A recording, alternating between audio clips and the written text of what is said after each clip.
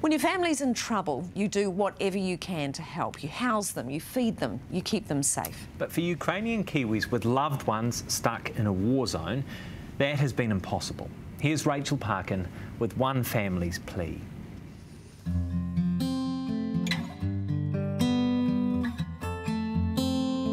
It's true, you can't beat it on a good day. And for Charlotte and Arthur Green, this is home. Wellington, New Zealand. Wellington, New Zealand. Is it pretty cool here? Mm-hmm. Yeah. At five and a half and nearly three, these little Kiwis are lucky. But their grandma Kasia. and 15 year old uncle, I'm glad. far from it. Both stuck in Ukraine.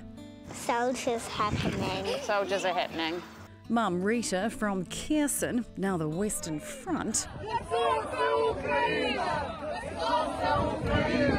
desperate to bring her family here to safety. I'm not going to speak about the political, you know, wants and do's. I'm here to really speak from the, you know, human to human, heart to heart. You want your mum and your brother. I want my mum back. I want my mum to meet my children. The past fortnight for this proud Ukrainian, almost Kiwi, I'm a few months away from becoming a New Zealand citizen myself. absolute living hell.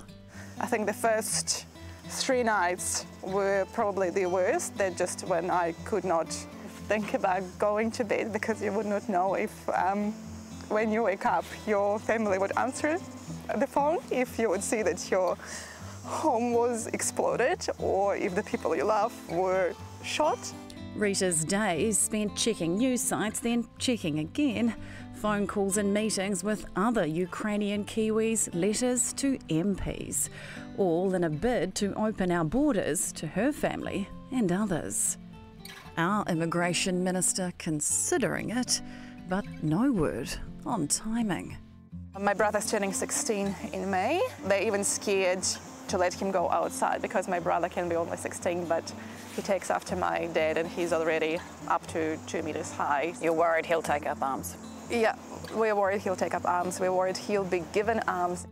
While the world spins over Eastern Europe, these kids are thankfully oblivious. Except for all those mummy tears. Bye She's been a bit sad. Have you given her lots of cuddles? Yes. Out here, it feels surreal. Like, look around us, like it's a beautiful day here in Wellington now. I just cannot imagine. But time is ticking. And there, bombs are dropping. Can you imagine Starship getting bombed? Like, can you imagine someone like here, the Ronald McDonald House? It's like, this is just, you know, there's insane, and then there is The list of countries letting families in, visas or not, slowly growing. I'd just like us to follow the lead of the Commonwealth countries. Um, the UK, Canada, Australia, they've all kind of you know set up these visa programs for family members of Ukrainians living in New Zealand. but it's not a holiday, it's a survival. Every hour, you're checking your phone. Things are still happening. And it might be costing someone a life as well. Let them in. Yes, please. And then maybe, just maybe, se bude dobra.